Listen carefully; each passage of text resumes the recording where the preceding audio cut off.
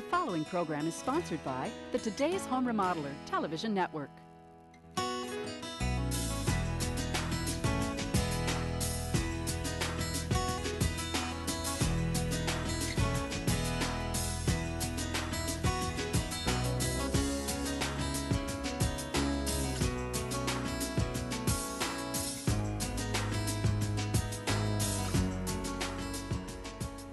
Welcome to today's Home Remodeler. I'm Stuart Keith, and on today's show, we're learning about a new steel siding product. We'll begin out at our project where Joe Conacher from Edco Products explains why these homeowners selected steel to replace the worn out cedar siding on their 30 year old home. Next, we'll visit the Edco Products manufacturing facility in Hopkins, Minnesota to see how these state of the art products are made. And we'll finish up with the installation process and see the beautifully color coordinated end result. So we have a lot to cover today, and we'll get started right after these messages.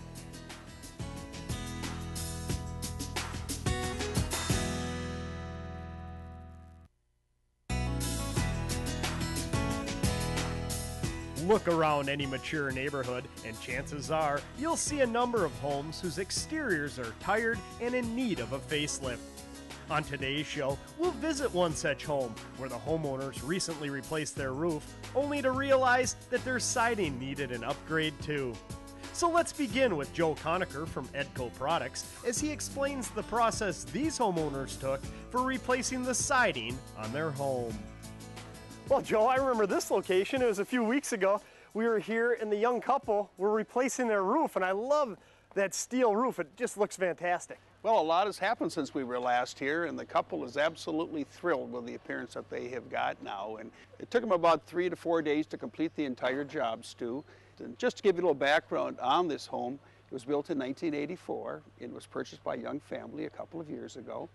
And they soon noticed that the asphalt roof was in need of replacement. Uh, yeah, it was pretty beat up and worn yeah, out. Yeah, the shingles were starting to curl and they were cracking and there was some peeling going on there and the uh, granules were coming off and even some moss was growing on it. It was so unsightly that they said that it was time to replace it and they did it now. Yeah, they did their homework too and they selected that metal roof shake and I tell you, it looks so authentic. What an improvement. And as I recall, these homeowners won't have to worry about ever needing to replace it. Well, that's what we call it the forever roof, and we back it up with a lifetime warranty. So they truly are set on that roof forever, or, or as long as they live in this home. Now, they get the roof done. Is that when they realized that they had a, another problem? Well, that was the problem. They were so thrilled with the way that the roof was turned out that the siding was disappointing to them, and they started looking at it even closer, and they noticed that it was peeling. In fact, I've even got a sample piece here, Stu, and you can see where the paint was peeling on it, and they had some rotting that was going on. The caulking was starting to come off around the windows, and just in general, it, it needed a lot of work that had to be done. And they're a young family. They want to spend more of their time together doing fun things as opposed to painting a home or or replacing boards and so on. So they just decided to look into putting a new siding on. Yeah, these are great examples of what happens to wood siding. Sure, it's cedar. It lasts a long time, but eventually, after what is it, 30 years now, it's starting to wear out. And who wants to do maintenance on the weekends? Well, nobody does. And as you mentioned, it's 30 years old. It's done its job. And uh, now it's time to replace. The look has changed somewhat that we're using today. And they wanted something that's maintenance free. Sure. And the look has changed considerably. I remember it was the old 45 degree angled look that was in in the mid 80s. It's definitely not in now. And seeing the new siding that they selected, it really transforms his homes, brings it into a modern look, yet it fits in to the natural environment around here. And I think a lot has to do not only with the color they selected, but the embossing on that new siding. The product that they selected was our new six inch single six steel siding with the Entex finish and they spent a lot of time looking and most of it really on the internet at all the different options that were available. You know, we always say be an educated consumer, you're going to get your best value. Is that your advice to a consumer is educate yourself on the different siding and roofing products through the internet? No question about it. It's so easy to go on there and start looking at what's available out there. Most of the manufacturers, such as ourselves, have tools to assist them in selecting color combinations and different products. So we have five different styles of steel siding. They elected this one because they liked the look on this particular home. You know, to me it seems as though the onus has fallen more onto the homeowners to be educated not so much allow the contractor to tell them what's going to go on their house.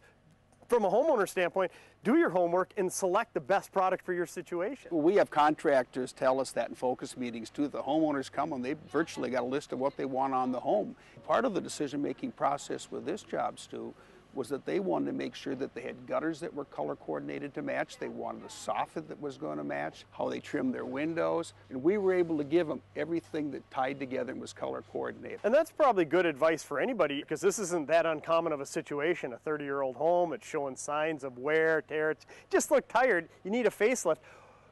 You're going to find as you do your homework that a company like Edco that has the roofing products, the siding products, the trim products, the gutters, they can offer you a color coordinated, very durable product that you're never going to have to worry about. Well, we have the Forever roof, and now they've got the Forever siding going on here. And you know, one thing I really liked, I went to your website, you had that color tool. It allowed a homeowner the opportunity to visualize what these products look like on different homes. We get so many positive comments regarding that tool that we have there. And as I mentioned, this is a virtually new product. It's 60 days old or less.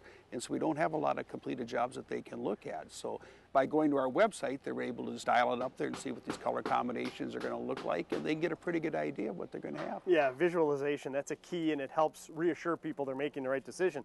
Now, you said it's a relatively new product. What takes so long to develop a siding product like this? Well, the thing that took us the longest really was the Endura EnduraGrain emboss that we have on this. And if you notice, it's got this texture that runs through it, Stu and we have to be careful that we don't get a repeat in it so that it doesn't look phony, so that it has a realistic look to it. Also, we need that because it adds a lot of strength to the product. We get a little hail up here, Stu, and we want to make sure that we can withstand these hailstorms that we're getting. Well, just my first impression, feeling it, it's very rigid. It's not a wimpy, thin metal that's going to be dented by an acorn being shot out of the side of a lawnmower. Well, and there's not going to be any hail holes in it either. Fantastic. So again, young couple looking to the future, with products like this, they're never going to have to worry about maintenance or replacing them down the road. They are totally done, and as the homeowner told me, hopefully he said I'll have time for a round of golf or maybe catch some of those Minnesota walleyes. Oh boy, wouldn't that be nice? I'm anxious to learn more about the embossing process. Can we head back to your factory and learn about that and then pick up the installation process later in the show? Okay, sounds good. And we'll do that next when we continue with today's Home Remodeler.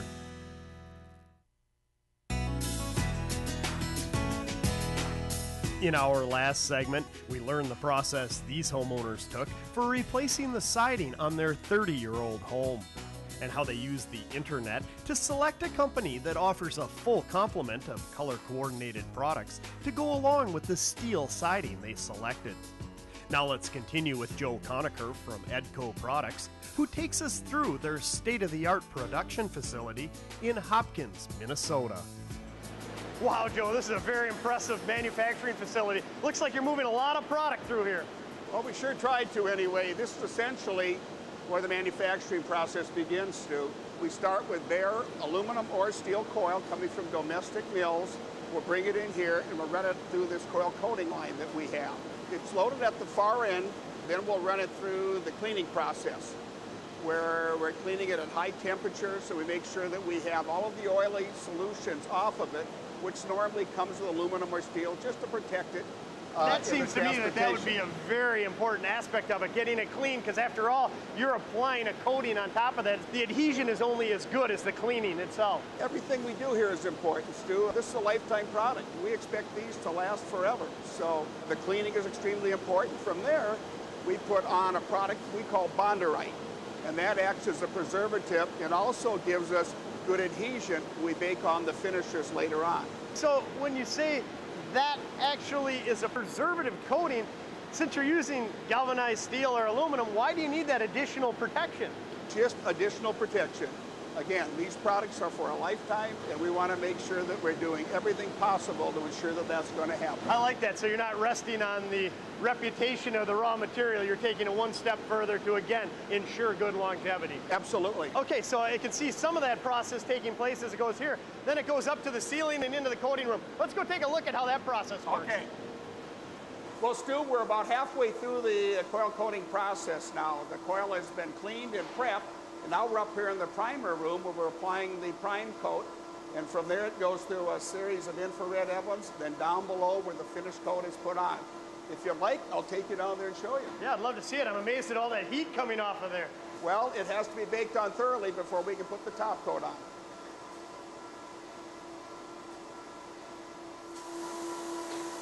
Stu, this is our coater room. And today we're applying a PVC coating called Classic Red. This will ultimately end up in our steel siding product line. But we do more than just paint the PVC coatings for the steel siding here. We paint all of the various coatings. I think we're totaling about 100 colors over four different types of finishes. Wow, and what amazes me most about this whole facility is all the automation. That must be the key to the success. Well, certainly good equipment is important, but what really makes it work is the employees that we have here. We have years of experience behind us. Somehow they tie it all together and they make it work and our product passes our rigid quality control standards. Now you mentioned this is the siding line, but this isn't the shape that we're all familiar with. How is that fabricated? Once we've got the top coat applied, Stu, we'll run it through our gas-fired ovens at a temperature of approximately 500 plus degrees. We then cool it down, we'll roll it back up, and it's ready to go upstairs into production. If you like, we can go up there and take a look at it now. Yeah, I'd love to see that. Still, we have here a roll of steel coil that's been painted in our coil coating line. This one happens to be a sand beige. When we were down there earlier, we saw a classic red being coated. But this is now ready to go on to our double four siding line. We have five different lines in-house, each doing a different profile. Wow, so different profiles, different shapes. Ultimately, for the consumer, they can achieve any look they're looking for with that many style options. Well, at the job site, we saw six inch today. We also have it in an eight inch width. This happens to be a double four, as I mentioned earlier. You can see it's four and four to give you an eight inch to the weather, but four inch course and it's got a different emboss that we had at the job site as well. Boy, that really does take a different shape from what it arrives into this building at. Oh, absolutely, no question about it. This has our timber grain embossed. This is a PVC coating too. At the job site, we have the Entex coating. The Entex is a lower gloss. This is a little bit higher gloss, giving you that fresh paint look. Now, are those two options available on all your different sidings? Yes, they are, Stu. We, we do focus meetings. We bring in customers and contractors, home builders, and there's still quite a demand for this uh, fresh paint look, if you will. But we see the trend now going more and more to the lower gloss matte. Sure, again, personal preference.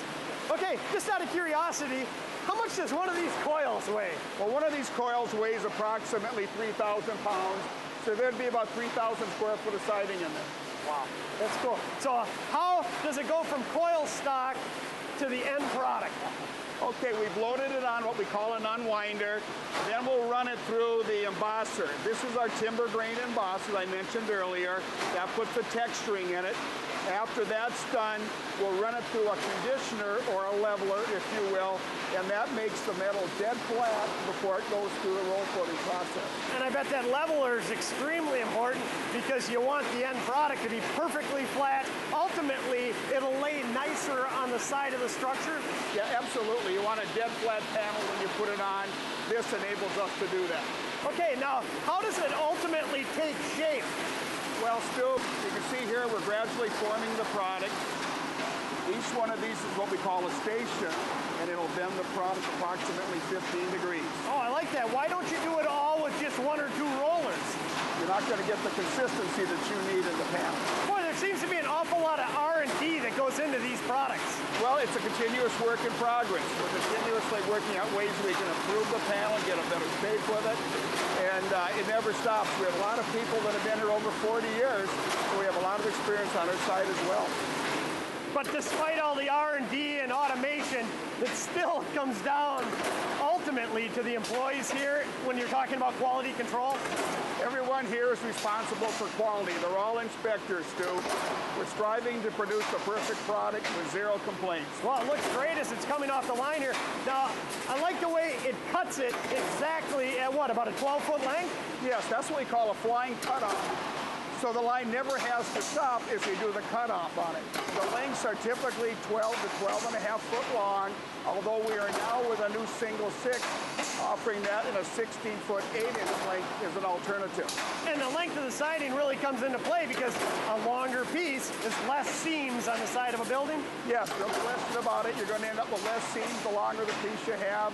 And to some people that's extremely important. Okay, so once it comes down here, I can see the guys boxing it up. Where does it go from this stage?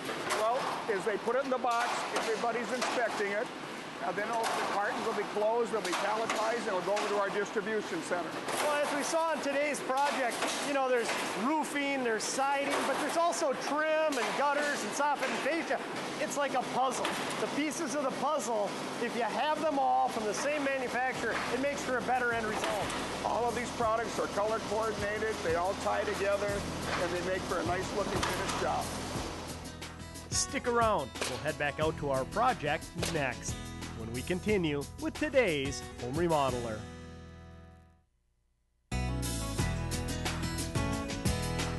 Earlier in today's show, we learned the process these homeowners took to select new siding, soffit, fascia, trim, gutters, and downspouts for their home, and saw the state of the art manufacturing facility in Hopkins, Minnesota, where all of these products are made.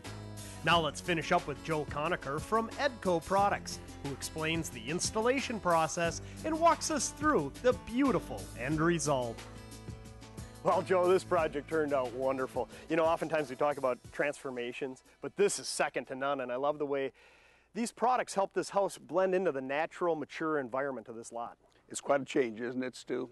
I spoke with the homeowners this morning, and they're extremely happy with the way the project turned out. If you recall, the home was about 30 years old. It had cedar siding on, which was tired. It had done its job, and uh, it was starting to need to be replaced in certain areas. The caulking was coming off, and certainly it needed to be coated or painted as well. So they elected to go with our single six steel siding with the Endura grain emboss with the Entex finish. You know, they certainly made the right choice on the products, and we say products because what we've learned on today's show is there's a lot more products than just the siding that go into a project like this. Oh yeah, there's a number of things that really add up to having the perfect siding job. And if you'd like, let's maybe focus on the trim package that they put on the home. Sure, and we can wrap up the show learning more about the installation of these products and you know, starting here with this window, I love the wider trimmer on the windows. Yes, this homeowner elected to go with a six inch wide trim around the windows. We see six being very, very popular today. In addition to that, you'll see a four inch trim that's used quite frequently. It seems like the wider trims have replaced the shutter look that we used in the 90s and the 80s and so on. So this gives it a little more up to date look. It accents the windows, and that's uh, what they wanted. And again, what we learned on today's show is by being an educated consumer, you can get different choices that fit your personal preference. Your color tool shows it on the website, and these homeowners did a great job of getting what they wanted and fitting it into the neighborhood. The thing that I noticed with the six inch trim is it really softens the J channel. It certainly does. Now, going around the windows when the siding will butt up against it, they have two different options, Stu. One is they can butt up against the trim and then caulk it, which is the traditional way you would see with wood sidings or with fiber type products. Or they have the option here with our product of running it into a J channel to cap it off and give a nice, neat appearance. And just looking at the installed product here, this contractor did a great job. Yeah, you can have the best products in the world, but it's only as good as the crew that's putting the product on. And in this case, they had Reinert Exteriors, a local contractor, do the installation. As you can see, the job is perfect. And they elected to tear off all of the old siding before they put the new product on. They wrap the house with the Tyvek product, and then they put their steel starter strips on, the J channels in the corners, very comparably to other steel sidings. So if you're a consumer looking for the latest, greatest steel siding, you don't have to worry about a learning curve for your experienced contractor. Oh, it's very adaptable to anyone that's put on any type of siding, whether it be vinyl or steel or whatever. You start with starter strips, J channels, and it's pretty comparable. Wow, Joe, out back here, it's equally, if not more so, impressive. And the thing that really stands out to me with this steel siding is I can't see the seams. You have long runs of siding there, yet I can't see them. They're almost impossible to detect, uh, unlike maybe some of the wood sidings that you see today or the fiber products where they have to allow for expansion and contractions. We can overlay the seams on this and they're as tight as you can possibly be. And if they're concerned about even that type of a seam, uh, we can minimize that by going from a traditional 12 and a half foot panel to the 16 foot 8 panels that we've used on this job. And you know, one thing I noticed, I look at the windows, they went with the four inch back here, which really makes sense when you have this many windows. Yeah, that was the thought process of the homeowners too. They felt that didn't want to get too busy in the back and they didn't want the window trim to overpower the siding. So they want the four inch trim back here, they have the six in the front and on the corner posts. And you know, we've been talking throughout today's show about coordinated products from the same manufacturer and it's nowhere more apparent than when you look at the roof here. High def look to it, beautiful steel roof, but it's tied in with the siding, with the trim, with the soffit, the fascia, even the downspouts and gutters. Everything ties together and that's the way it really should be. It's all a baked on coating done at our lines and they have the consistency throughout the entire job. And you know, as I look at that roof, I love the high def finish, but I know at Edco, you guys have been working on some high def siding finishes as well. Yes, we have. It's a proprietary process that we have developed over the course of the last couple of years where we will take a standard color like the canyon that's on the home here and we will put this coating over the top of it to give this appearance. This is fantastic. You know, I've never seen anything like it. It's so realistic and this is just on a small piece. I bet it looks just beautiful on a full side of a house. Oh, the test jobs we've done are absolutely beautiful, Stu, and uh, we presented this to the focus group meetings that we had and it was incredible the preference for this type of a finish. Well, I've said it time and time again. I love a company that continues to evolve because it gives more choices and better end results for the end user. And when you talk about end results, as I mentioned earlier, it's second to none, and I think the icing on the cake is that board and batten detail at the front entryway. Yes, we see a trend now where homeowners are trying to accent the siding itself, and maybe in the gable ends they'll use our vertical board and batten, which is a 12-inch panel, or in the front of the house as they have done here. And in fact, here they not only accented it with the vertical board and batten, but they also changed the color in the front too. They went to a T-tone which complements the canyon color we have on the house. Well, hopefully after walking through this process, any viewer can end up with the same end results if they follow along, become educated, look at the websites, and just consider all their options and work with an experienced professional. I appreciate you coming on and walking us through all these great products. My pleasure, Stu. Now here are some key points to help summarize today's show. If your home's exterior is looking tired and worn out, consider a facelift using new siding, soffit, fascia, trim, gutters, and downspouts. A good place to start the process is on the internet, where you can visit various manufacturers' websites to learn about all the different options and find a company like Edco Products that color coordinates all their products to match, so you get a superior looking end result. And regardless of the siding products you select, be sure to work with an experienced contractor who genuinely cares about your project. After all, if you invest in quality products and have them properly installed, they should last for the life of your home, allowing you the opportunity to get out and enjoy your free time. Well, we're all out of time for this week's show. I sure hope you enjoyed it. We'll see you again next time on today's Home Remodeler.